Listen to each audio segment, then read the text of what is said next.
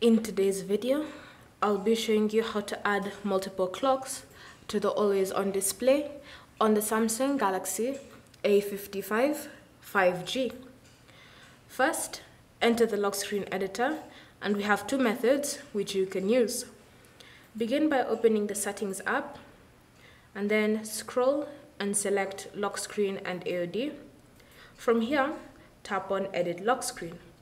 Alternatively, access the lock screen directly and then long press to enter the lock screen editor.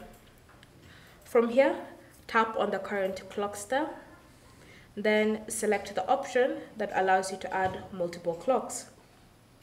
From here, tap on add city from the preview, then use this globe or the search icon to look for cities.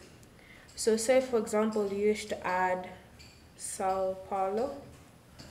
You'd look for it and then tap on it, then select add. So you can see in your preview, with each city you add, it's appearing on the screen.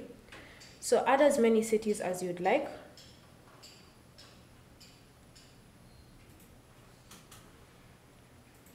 And then once you finished adding, tap on done to save and apply the changes after you've customized to the clock as well as the size, the font, and the color.